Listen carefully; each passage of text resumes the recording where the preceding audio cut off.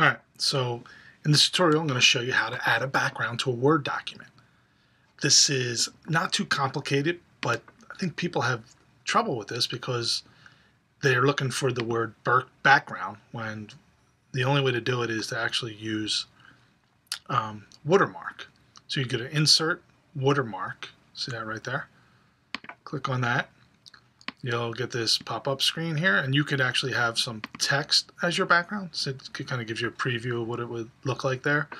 Um, but if you're looking to use an image, and if you are, um, let me stop for a second. If you're using text, you have option for size of the text. Right here, size, um, the font style, bold, and you can make it as transparent. See how it kind of disappears there, um, and even change the color.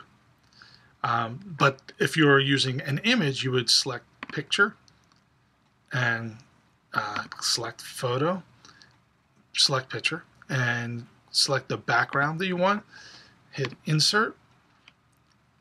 You'll notice it threw a background in there, but by default it's not as big as I'd like it to do, so I'm going to put this to 200.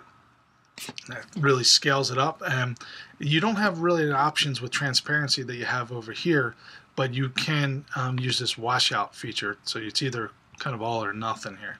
Wash it out or you leave it full. Um, I'll leave the washout in. Oh, sorry. I'll leave the, the washout in, hit OK, and you kind of see what that looks like there.